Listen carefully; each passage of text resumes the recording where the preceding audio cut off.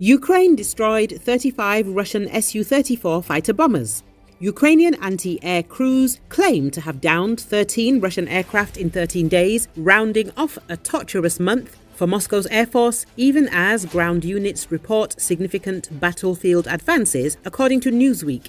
It seems like being a Russian military plane pilot is the worst job in the world. Ukraine's defense ministry wrote in a post on X. February is the shortest month of the year, but our sky defenders have achieved the greatest results in downing Russian jets since October 2022. Kiev listed 10 Su 34 fighter bombers, 2 Su 35 fighters, and 1 A 50 long range radar detection and control aircraft as the downed planes. The A 50 is the second of its type, claimed destroyed by Ukraine since February 2022. Ukrainian spy chief Kirill Budanov said that Moscow has only six A-50s left. Russia's Su-34s have been playing a key role in supporting Moscow's winter offensive on the Eastern Front. Air-dropped KAB glide bombs have been credited as vital to Russian success in and around the small city of Avdiivka, with Ukrainian defenders lacking the air defense capabilities to stop such sorties. Russian fighter bombers can release the munitions from as far as 25 miles away. Forbes reported that Russia's Air Force has acquired a total of 140 Su 34 fighter bombers. Ukraine claims to have downed 35 of them.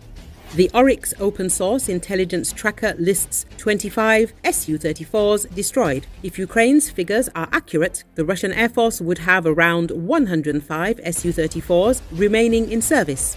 However, an unknown number may not be operational due to damage, a lack of pilots, and required routine maintenance.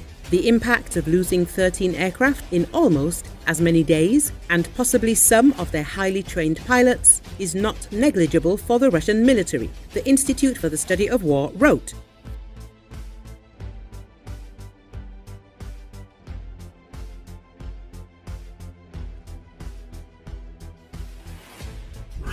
Ukrainian guerrillas spot ships in Novorossiysk used by Russia to shell Ukraine. Ukrainian guerrillas have spotted Russian ships in Novorossiysk from which the occupiers are shelling Ukraine. In particular, they took part in the attack on February the 7th, according to the Atesh guerrilla movement. Agents of our movement report the deployment of several missile ships in the port of Novorossiysk, the statement reads. In particular, the following was spotted a small missile corvette of Project 228-800 Karakurt, a small missile ship of Project 21631 Buyan M. According to the guerrillas, it was from these vessels that Kalibr missiles were launched during the shelling of Ukraine on February the 7th.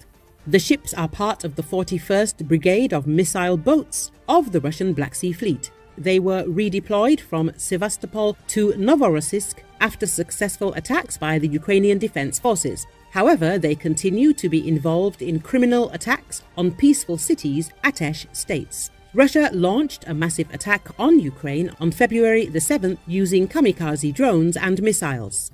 Kiev, where four people were killed and dozens wounded. Kiev region, Kharkiv, where non-residential infrastructure was damaged Mykolaiv, where one person was killed, Novomoskovsk, Dnipropetrovsk region, and Drohobych, Lviv region were hit. In total, Russia fired 64 missiles and drones at Ukraine. The Ukrainian Air Defense Forces shot down 44 targets, 26 KH-101, KH-555, KH-55 cruise missiles, 3 Kalibr cruise missiles and 15 Shaheds. US military warns of environmental disaster after spill in Red Sea caused by Houthi attacks. US CENTCOM has warned of an environmental disaster following an attack by Yemen's Houthis on a cargo ship that caused an oil slick in the Red Sea. On the 18th of February, the Houthis targeted a UK owned bulk carrier named Rubimar, flagged by Belize. The ship was sailing through the Bab al Mandeb Strait, connecting the Red Sea and the Gulf of Aden en route to Bulgaria from Khor Fakkan in the United Arab Emirates when it was attacked by multiple missiles. The Rubimar, a Belize flagged but British owned bulk carrier, has been drifting in the Red Sea after it was struck by two missiles. The ship which is feared to be in danger of sinking, is leaking an 18 mile oil spill and carrying 41,000 tons of volatile fertilizer. The 22nd of February attack on the Rubimar inflicted the most significant damage so far on a commercial ship since the Houthis started targeting vessels in November. The Houthis say their attacks on commercial shipping in the Red Sea are in solidarity with the stricken people of Gaza. CENTCOM posted on X that the unprovoked and reckless attack by Iran backed Houthi terrorists caused significant damage to the ship, which caused an 18 mile oil slick it has long been feared that the Houthis might extend their actions by disrupting internet traffic and cutting sea cables.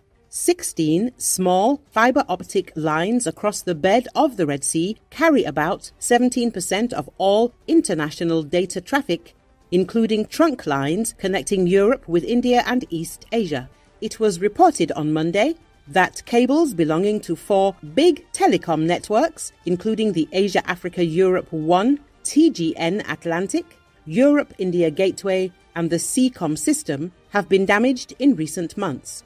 The cause of the damage has not been identified, and natural damage happens relatively regularly. Israeli media reports attributed the damage to Houthi actions, but Yemen's Houthi controlled communications ministry denied involvement.